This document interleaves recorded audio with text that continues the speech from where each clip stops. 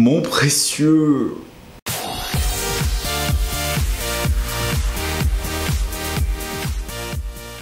Hey, salut tout le monde, c'est Jérémy de Monsieur Jérémy. J'espère que vous allez bien. À l'approche des fêtes, je suis super content, j'ai trouvé un produit qui pourrait peut-être faire plaisir à votre compagnon à pénis. C'est un cock ring. Vous vous rappelez les cock rings à quoi ça sert? Le cock ring, ça sert en fait à bloquer l'érection, à décorer la base du pénis, à avoir une érection plus forte et à avoir un méga paquet. Le cock ring du jour, c'est celui-ci. C'est un Kazomeo qui s'appelle Chaîne d'amour. C'est joli ce produit m'a été envoyé par Meo, meo.de, qui est une boutique en ligne qui se trouve en Allemagne et qui livre partout dans le monde. Donc en fait, où que vous soyez, normalement, vous devriez pouvoir le recevoir.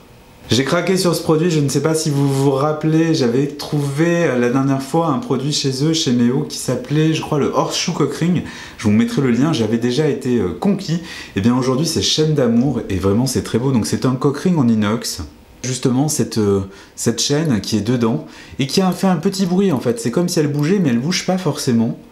Et vraiment les détails sont superbes. Alors c'est vraiment de l'inox miroir, vraiment très très beau. La largeur ici en fait, ça fait 1 cm et demi et la hauteur là, ça fait 8 mm. Donc c'est vraiment un cockring qui est super imposant très très très massif, masculin. Vous le savez, moi je vous l'ai déjà dit plusieurs fois, je suis vraiment un porteur de cockring, donc ça existe en 4 tailles, je crois que ça va de 4, 4,5 et 5, ou peut-être un peu plus.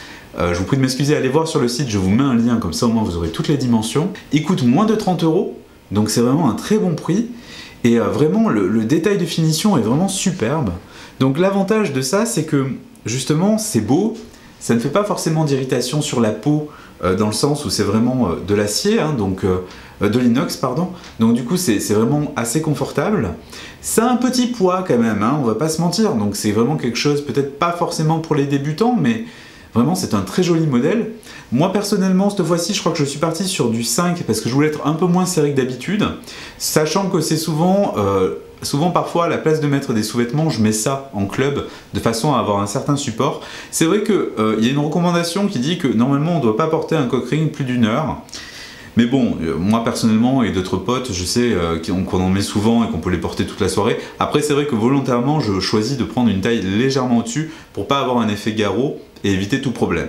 Pour revenir sur ce produit, il est livré dans un emballage que je vais vous montrer de suite parce que je l'ai oublié. Voilà, voilà. Donc c'est livré dans un emballage super, euh, donc avec le logo Meo. Et à l'intérieur, vous avez aussi un mode d'emploi, un user guide, qui est très imagé. Hop, on va le mettre comme ça. En fait, vous voyez comment euh, mettre un cockring pour ceux qui ne savent pas.